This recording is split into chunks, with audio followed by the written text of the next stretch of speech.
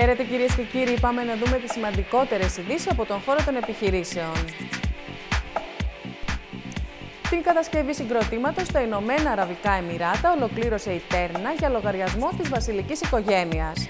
Το συγκρότημα έχει συνολική επιφάνεια 250.000 τετραγωνικών μέτρων και περιλαμβάνει 7 όροφο εμπορικό κέντρο, 3 πύργους με συνολικά 41 ορόφους ο καθένας και 2 υπόγεια πάρκινγκ. Η ολοκλήρωση του έργου καθιστά την Τέρνα την πρώτη και μόνη ως τώρα ελληνική τεχνική εταιρεία με επιστοποίηση εμπειρίας κατασκευής κτηρίων High Rise. Τρία νέα οριστικά συμβόλαια πώλησης φυσικού αερίου υπέγραψε στο Tel Aviv η Energy Israel.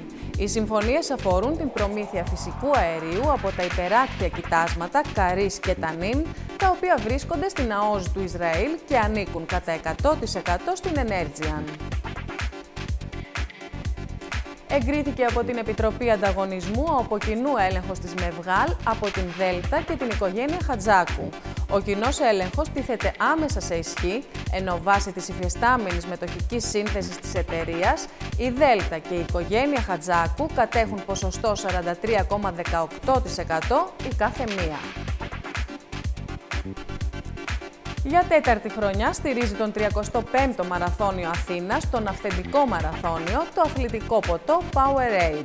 Ο μαραθώνιος θα πραγματοποιηθεί την Κυριακή 12 Νοεμβρίου, ενώ το Powerade θα καλύψει τις ανάγκες ενυδάτωσης σε περισσότερους από 42.000 δρομείς. Κυρίες και κύριοι, παρακολουθήσατε ένα ακόμη Business News.